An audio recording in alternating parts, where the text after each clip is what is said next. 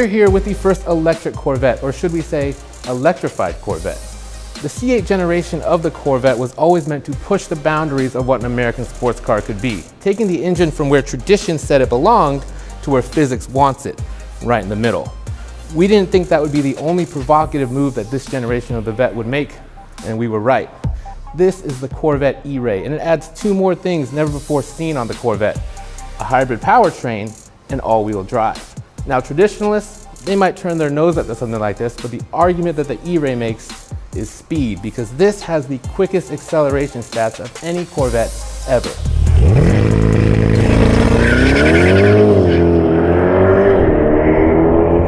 Today, we're gonna look at how it does it and explain how it's a little bit different than the existing Z06 and Stingray models. But before we tell you more about the Corvette NSX, excuse me, we mean E-Ray, hit those like and subscribe buttons, and if you're looking to sell your car, head over to edmunds.com slash sell my car for an instant cash offer. The E-Ray continues in the burgeoning automotive tradition that bothers me to no end of just slapping an E onto the front of a name to show that it's electrified. It sounds a bit too much like a place you'd bid on some memorabilia, but at least it's not the Corvette Mach-E, so we count our blessings. How does the E-Ray earn that extra initial? its hybrid powertrain, which is comprised of two main parts. The first one is very familiar, an LT2 small block V8 making 495 horsepower and 470 pounds-feet of torque, just like it does in the entry-level Stingray model. Paired to the engine is a 1.9 kilowatt hour battery pack and a single electric motor, good for another 160 ponies and 125 pounds-feet of torque on its own. We'll do the math for you. That's 655 total system horsepower. The Z06 remains the most powerful Corvette with 670 horsepower. That's 15 more than the E-Ray, but there is a difference between the two in torque. Chevy didn't provide a total torque figure for the E-Ray since you can't simply add them together. The two don't quite work in concert like that. But they would say that it produces enough torque that it outpaces the Z06 by quite a bit. Another advantage for the E-Ray, that power gets sent to all four wheels.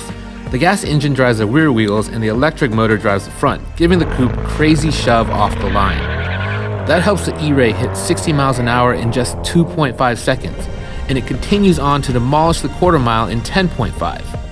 For having drastically different powertrains, the Z06 and E-Ray are very close when it comes to performance. According to Chevy, the all-wheel drive hybrid is 0.1 seconds quicker, both to 60 miles an hour and in the quarter mile. Those are claims we'll have to put to the test on our own track very soon.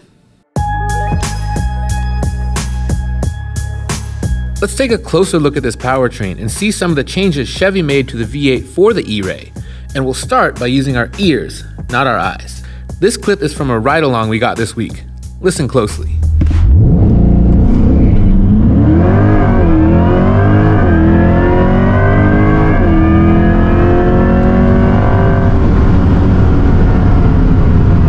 What you're hearing is the V8 competing with, or I guess, enhancing the sound of the E motor. Now this sound is artificial and piped into the cabin via the speakers. It's a very different sound from the Z06's high revving wail that we love.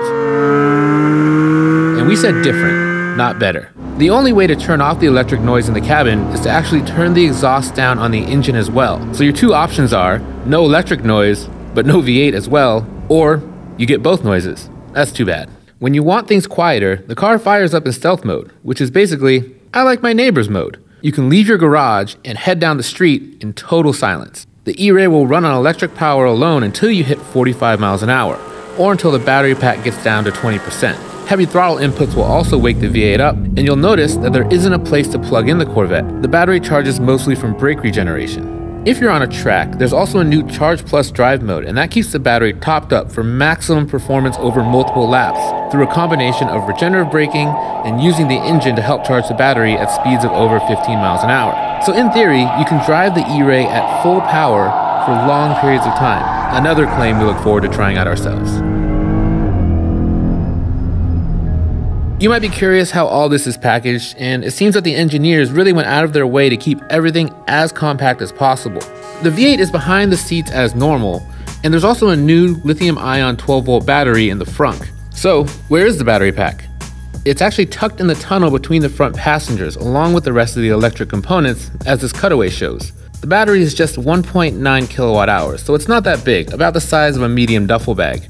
Placing it in that tunnel between the front passengers helps to lower the center of gravity of the car slightly and shifts the weight bias forward a touch.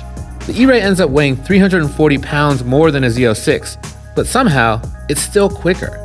Chevy also recalibrated the fuel system so that the car can run on four cylinders for longer periods of time. That's right, most of the time you see a Corvette, it's actually only using four cylinders, and now when you see one rolling down the street, it might only be using electric power.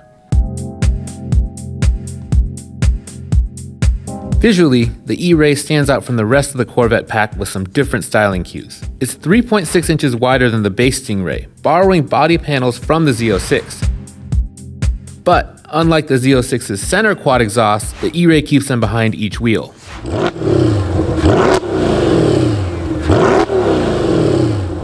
There's also a unique rear fascia, along with bright electric blue badges. And if you really want to be shouty, Chevy offers a body stripe in the same electric blue color, only available on the E-Ray.